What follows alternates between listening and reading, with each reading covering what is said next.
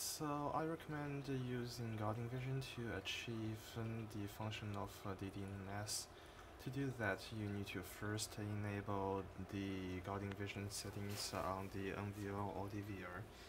Second, you need to enroll the NVR or DVR to your account.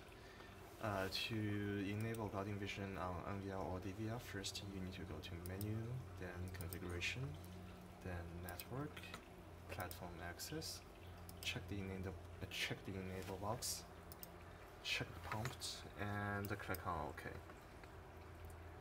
Now you will need to assign it uh, a verification code,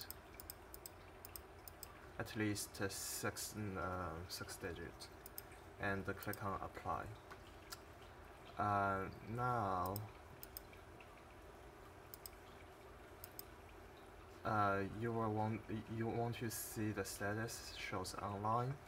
After the status shows online, you can use your phone to enroll the device to your Guarding Vision account.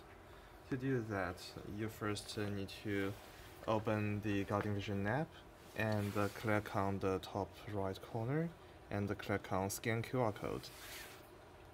With that, you can just uh, scan the QR code uh, on the display and uh, it will find the device.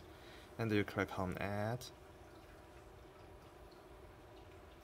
And uh, wait uh, for a few seconds. And then there you should have it.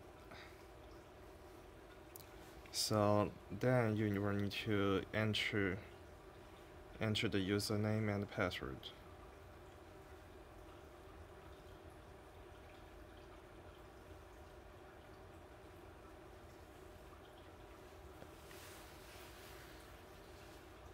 and uh, wait for a few seconds and now the Guarding Vision is in your account. So to check on the device IP address, you need to, uh, I suggest you visit uh, guardingvision.com. Uh, as it shows here, guardingvision.com. And uh, once uh, you open the web page and, uh, and uh, go log into your account,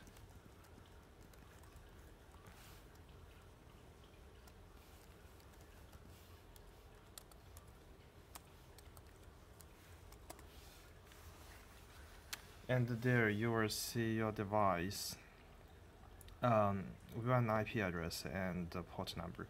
Uh, do notice if you haven't enabled UPnP and haven't done uh, port forwarding, then you won't be able to log into your device.